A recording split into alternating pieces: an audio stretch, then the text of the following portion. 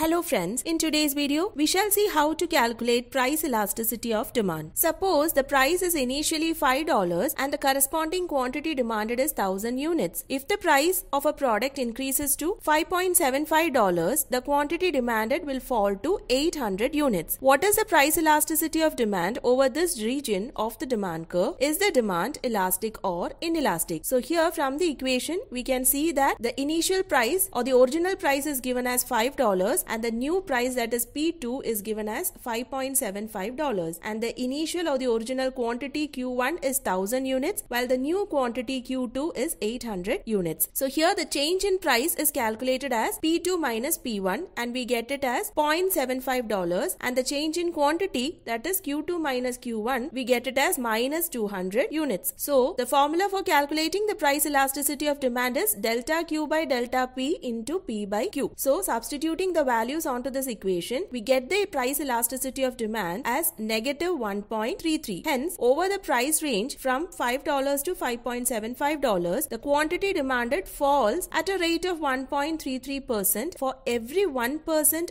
rise in price. So, since the value of the elasticity of demand is greater than 1, we can say that the demand is elastic.